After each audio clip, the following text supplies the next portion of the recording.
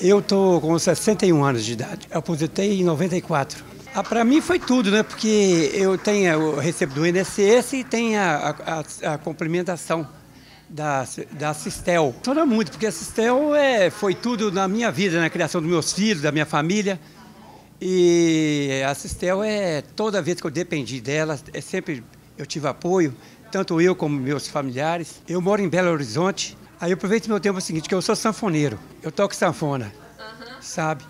E nós, a gente tem um trio lá em Belo Horizonte, lá eu toco na Minas Gerais praticamente toda. Como que é o nome do trio? É, Trio Parada Dura. Trio Parada Dura. É. Trio Parada Dura. Você é sanfoneiro. Sou sanfoneiro. É, o que eu faço é, é, é, é, A atividade minha é tocar e atividade também, eu gosto de, de fazer negócio físico, né? Caminhar muito, é, passeio muito. Aqui, entre, né? Nessa, nessa, na Sistel, porque lá é, vai ter todo apoio, igualzinho eu tive, entendeu?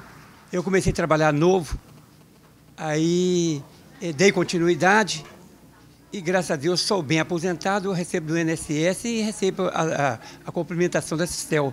E, graças a Deus, é uma empresa muito boa, sabe? O que, eu, o que eu deixo bem claro é o seguinte, que todo mundo que trabalha em telecomunicações quer associar da Sistel para ser feliz igualzinho eu.